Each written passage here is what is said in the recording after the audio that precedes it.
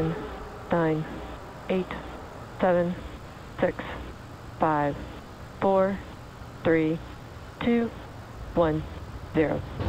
Ignition, liftoff.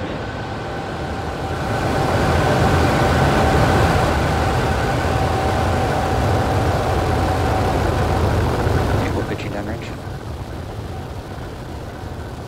Stage one propulsion is nominal.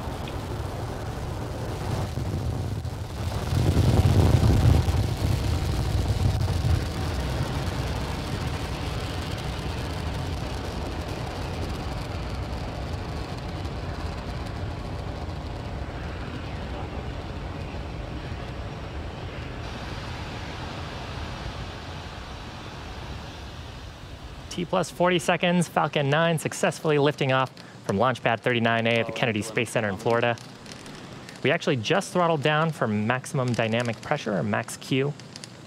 Max Q. So call out there for having gone through the point of maximum aerodynamic pressure. That's when the loads on the vehicle are the highest from the combination of our velocity, but increasing while the density of the atmosphere decreases. Now, coming up in just about a minute, we will have three events happening back to back. First will be main engine cutoff, or MECO. That's where we'll shut down those nine Merlin engines. You can see the plume expanding from them on the uh, back of the rocket here. MECO. Stage separation confirmed. So there is successful stage separation on the left-hand side of your screen. That's the first stage. On the right-hand side of your screen is the Merlin vacuum engine starting to glow brightly with the heat of that combustion reaction.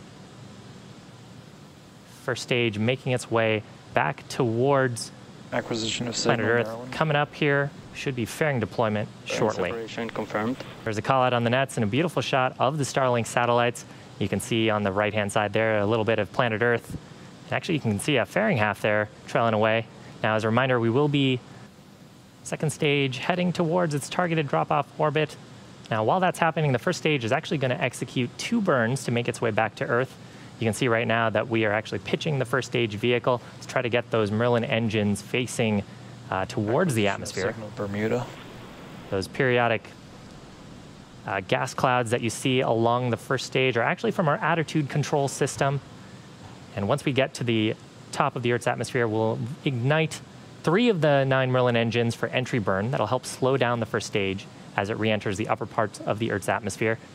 And then the second of those burns will actually happen much closer to touchdown on the drone ship. That's the landing burn, where we will ignite just a single Merlin engine at the center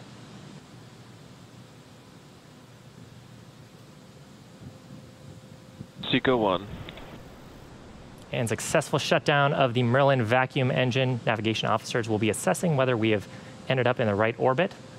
And uh, most of the way up, we were right down the middle. Nominal orbit insertion. So good call out there. We're in the first of two planned orbits. Now, the second stage is going to coast in this orbit for about the next 30 minutes, it- since the vehicle is right now uh, both going thousands of miles an hour. Stage one FTS is saved. Stage one entry burn startup. Startup of those three Merlin 1D engines on the first stage Expected loss of signal, Cape. So with that, we will continue on the first stage to apply some attitude control from those uh, attitude control thrusters, Stage one entry burn shut down. and uh, the, the grid fins will continue to fly Falcon 9 in, creating, giving us aerodynamic control. Looks like we just lost the link as it re-enters there. Here's a shot of the drone ship. Again, that's 624 kilometers off the east coast of Florida, awaiting first stage for a landing attempt. Second stage continuing to look good. That glow that you see on the nozzle extension is normal. Coming up here, we expect to hear a call out for landing burn start on the first stage. That'll be just a single center Merlin Stage engine. landing burn startup. Shortly after, we'll expect to see landing leg deploy, and then hopefully a touchdown on the drone ship. Terminal guidance. Stage one landing leg deploy.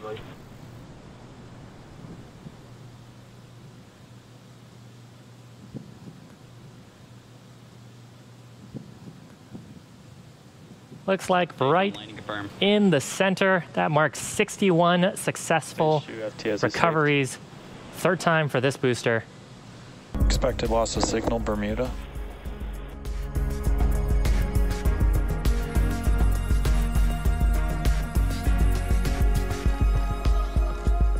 MVAC burn 2. And good shutdown. So super fast second engine start number two, and then followed by second engine cutoff number two. That was to raise uh, the perigee or the lowest point of our orbit satellites. Starlink is part of our space-based internet constellation, and we're continuing to build up that network with today's launch. It's coming up about 10 seconds. Expect to see payload deployment. Starlink deployed confirmed. So you can see the Starlink satellites gently floating away from the second stage. Now, uh, shortly they will, once they've had a chance to space out a little bit, they'll deploy their solar arrays. And over the next few days and weeks, they'll start to distance themselves out using their onboard ion thrusters to make their way to their final operational orbits, about 550 kilometers above the Earth's surface. It's actually going to bring our webcast coverage to a close. We want to thank, give a big thanks to the Range and the Federal Aviation Administration for supporting today's mission. If you're interested in getting future news about Starlink, head on over to starlink.com and sign up for updates. With that, we hope you have a wonderful rest of the day and a happy end to Scrubtober.